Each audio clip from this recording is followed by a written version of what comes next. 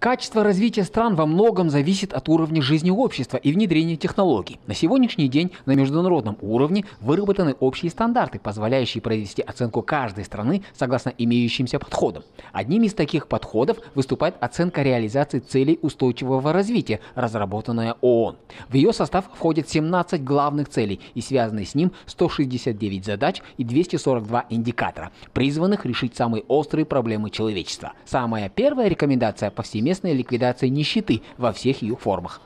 Деньги в бюджете у нас есть, и они расходуются не совсем по назначению, поскольку у нас большая часть тратится на эти квазигосударственные компании, там э, эффективность наших расходов очень низкая, поэтому на самом деле вот э, просто более точное, более четкое исполнение бюджета, оно бы позволило а, поднять вот эти ну, не, я не, даже не говорю о том, чтобы поднять просто вот эти э, там, АСП? АСП или какие-то социальные выплаты. Я говорю о том, чтобы э, на самом деле сделать даже бизнес более эффективным и чтобы бизнес даже не кошмарили. Цели универсальны и могут применяться к любым странам и организациям. Они охватывают борьбу с бедностью и неравноправием, устойчивое развитие и экономический рост, включая создание новых рабочих мест. Эти рекомендации предусматривают гораздо большее вовлечение частного сектора экономики. Это философия ООН. 17 целей, 169 задач и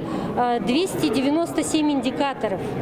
Одномоментно это все э, решаться э, невозможно, то есть это сложно. Поэтому очень важный аспект – это правильно приоритизировать, что мы решаем в первую очередь, что мы решаем во вторую очередь и что более отдаленно.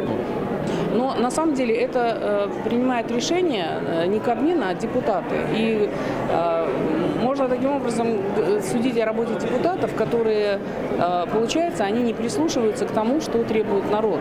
Э, это со всех сторон, да? Народ жалуется, что не хватает денег, там, проблемы бедности, мы даже видим, что они тратят в основном на значит, продукты питания. Министерство уже готово, оно все рассчитало.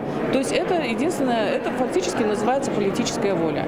Официальная статистика упорно занижает уровень бедности в Казахстане. Эксперты отмечают неадекватность потребительской корзины, на основе которой и высчитывается прожиточный минимум. По мнению экспертов, величина прожиточного минимума в Казахстане занижена практически в три раза. Согласно стандартам ООН, к проживающим за порогом бедности нужно относить тех людей, которые тратят до 5 долларов в день.